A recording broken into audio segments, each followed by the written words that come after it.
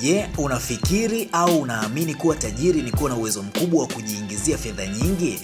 Ni kweli, ila siyo njia pekee inayoweza kukufanya wewe kuwa tajiri na kuyafikia mafanikio ambayo unayahitaji au ambayo unatamani kuwa nayo. Nidhamu katika matumizi ya pesa ni ufunguo pekee utakaokuwezesha wewe kujikusanyia utajiri mkubwa ambao hauwezi kutetereka kizembe. Huu ni ushahidi wa manunuzi na matumizi ya watu kama wewe waliokuwa na kiu ya mafanikio makubwa hapa duniani na wamefanikiwa kutimiza ndoto zao kama ambavyo wewe unaweza kutimiza ndoto zako kwa kuzingatia yafuatayo. Baadhi ya manunuzi huonekana ya gharama sana kwa mara ya kwanza, ila husaidia kupunguza matumizi ya fedha za mara kwa mara kwa siku za mbeleni.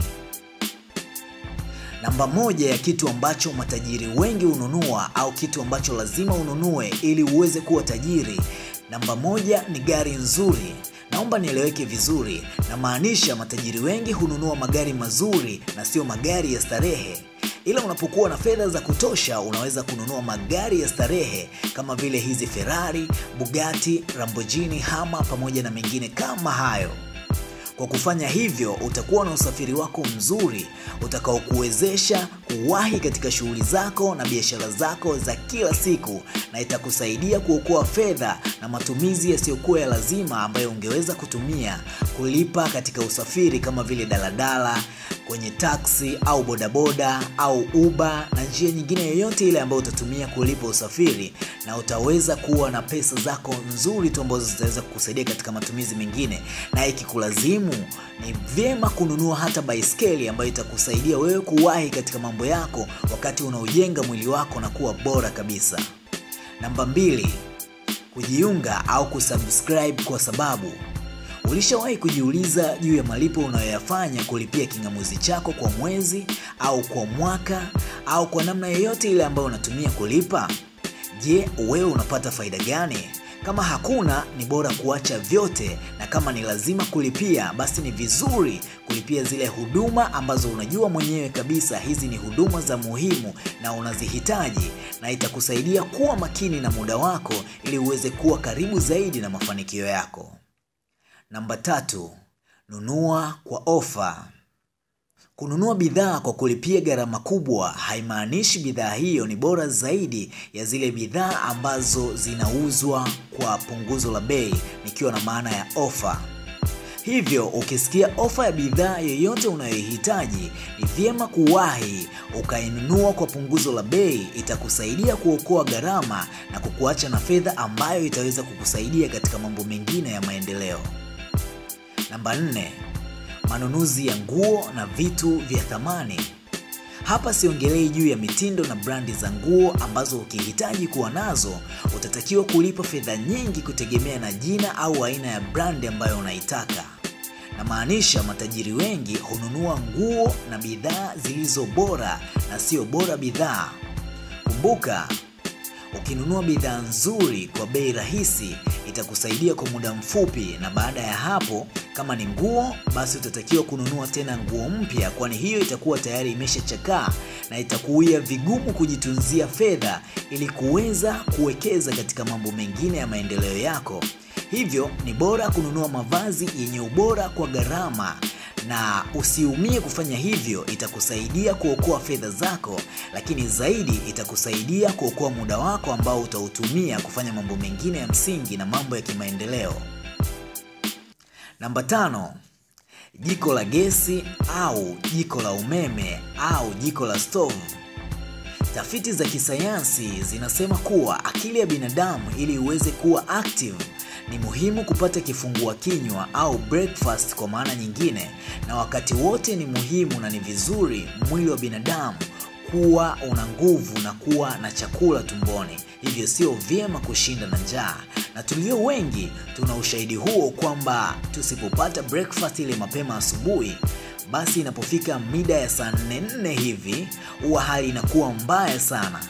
Swali la kujiuliza ni hivi, huwa unanunua chai asubuhi? Kama jibu ni ndiyo, basi ni vyema kuanzia leo ukanunua jiko lako la gesi kwa gharama ambayo ni kubwa, utaiona kwa mara moja, lakini itakusaidia kuokoa gharama zako kwa siku za mbeleni, au jiko la umeme au jiko la mafuta ya taa, kwa maana ya jiko la stove, ili kuweza kupunguza gharama na kuweza pia kujipimia mwenyewe kiasi cha breakfast au kinywaji unachotaka, au pia kuona kile ambacho unachokitumia kipo katika usafi ule ambao unastahili kwa muda wowote ule ambao unaotaka, na kuweza kujiokolea fedha ili kuweza kufanya mambo mengine ya msingi ya kimaendeleo yatakayokupelekea wewe kuwa tajiri.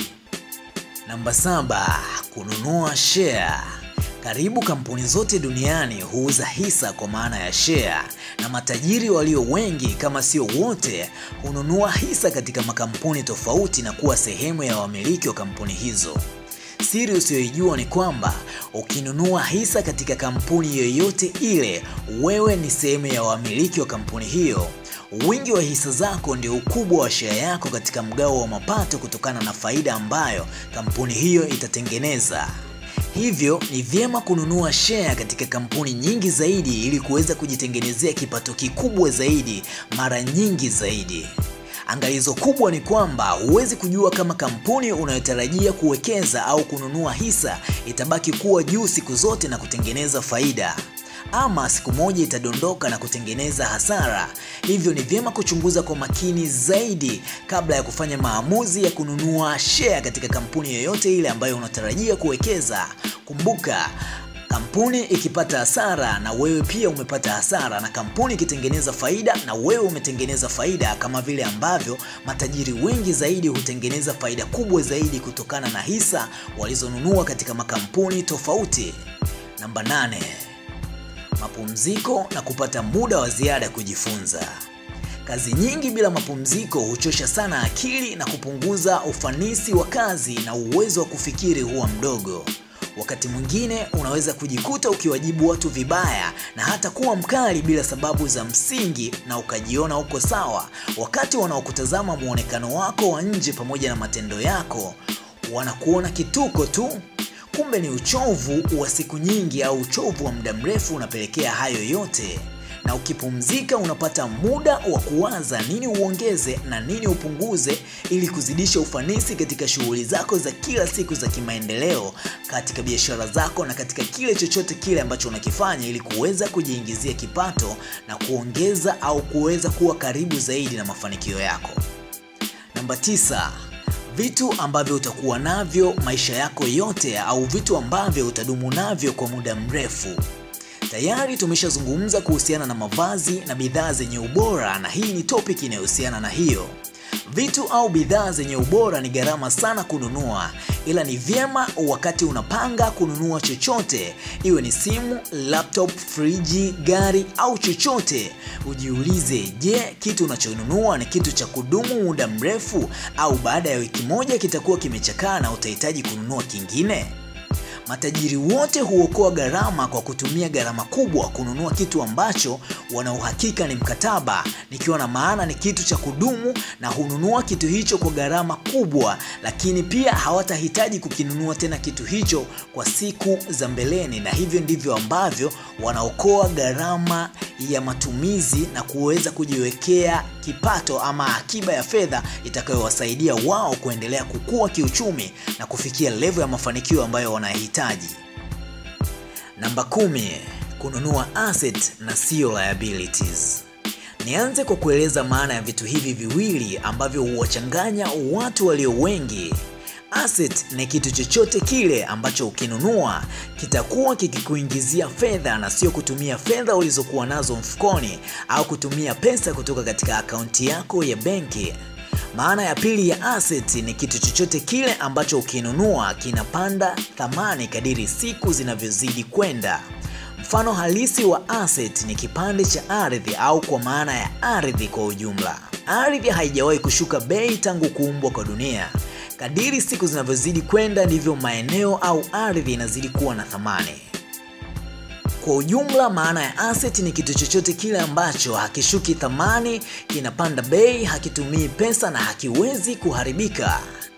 Liabilities Hapa tuna mifano mingi sana ya liabilities, ila kabla tuanze kufahamu maana halisi ya neno hilo. Liabilities ni mjumuisho wa vitu vyote ambavyo thamani yake hushuka mara tu baada ya kununuliwa na kumilikiwa na mtu. Na mara nyingi liabilities, ili kuitumia ni lazima uweze kutumia tena fedha ulizokuwa nazo katika benki akaunti yako kuweza kuiendesha liability ambayo uliitumia au ulitumia fedha keshi kuinunua liability hiyo. Na mfano ni gari, unanunua gari kwa pesa keshi, na mwisho wa siku ukitaka kuiendesha ile gari bado inahitaji mafuta ili uweze kwenda, lazima upite sheli na kutumia pesa tena kutoka katika benki akaunti yako au pesa ambayo ulikuwa umejiwekea kama hazina ili kuweza kutumia gari hiyo na mwisho wa siku pia liabilities hushuka thamani kama ambavyo nimekuambia. Na mfano halisi wa watu ambao wamefanikiwa kwa kununua assets ni mtunzi na mwandishi wa kitabu cha Poor Dad Rich Dad, Think and Grow Rich, Robert Kiyosaki, raia wa Marekani ambaye aliwekeza zaidi katika manunuzi ya ardhi kwa maana ya real estate, na imemfanya kuwa tajiri mkubwa sana katika orodha ya matajiri duniani na ni kutokea kule katika taifa la Marekani.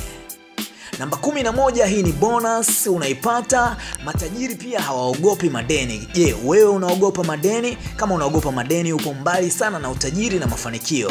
Lakini pia simaanishi ukope mabilioni benki, hapana. Kumbuka, biashara karibu zote unazozijua wewe haziendeshwi kwa pesa taslim kutoka katika mfuko wa mtu mmoja, na hivyo ni mjumuisho au nguvu ya watu walio wengi wamewekeza kwa pamoja, na mwisho wa siku inawasaidia wao kuweza kutengeneza fedha na biashara kukua. Na pia nikukumbushe kwa wale wote ambao wanakopa kutoka katika benki, hakikisha unakopa kiwango ambacho umeshafanya utafiti wa biashara yako. Mwisho wa siku una uhakika kabisa hii biashara itakuwa na itakuingizia kipato, na mwisho wa siku isikuingize katika matatizo ya kuja kufilisiwa au kutaifishwa mali ambazo umeshazitumikia kwa muda mrefu ukawa nazo. Hivyo ni vyema kuwa makini na kufanya uchunguzi au research ya kutosha ya biashara unayotaka kuifanya kabla ya kuamua kufanya maamuzi ya kukopa.